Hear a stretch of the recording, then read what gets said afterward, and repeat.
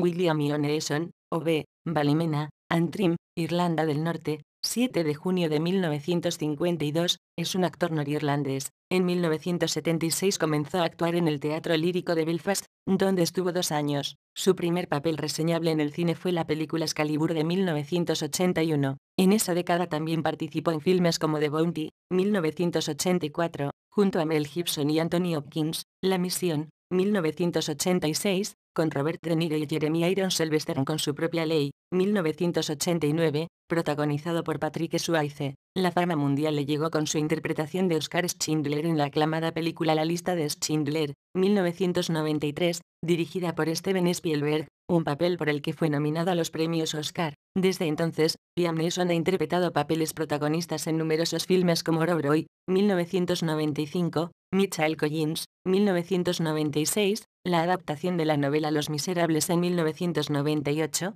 Star Wars, episodio I, de Phantom Menace, 1999, el drama biográfico Kinsey, 2004, y Batman Begins, 2005. En 2008 la carrera del actor recibió un nuevo impulso que lo convirtió en un héroe del cine de acción gracias al estreno del filme francés Taken, primera entrega de una trilogía. En los últimos años, Neson ha protagonizado otras películas de acción como El Equipo A, Furia de Titanes, ambas en 2010, Unknown, 2011, The Grey, 2012, Non-Stop, 2014, y Run All Night, 2015. Liam Neeson ha sido nominado a numerosos premios, como el premio Oscar a Mejor Actor, el BAFTA a Mejor Actor Protagonista o el Globo de Oro a Mejor Actor de Drama. La revista Empire lo incluyó en sus listas de los 100 actores más atractivos de la historia y las 100 mayores estrellas de cine de todos los tiempos.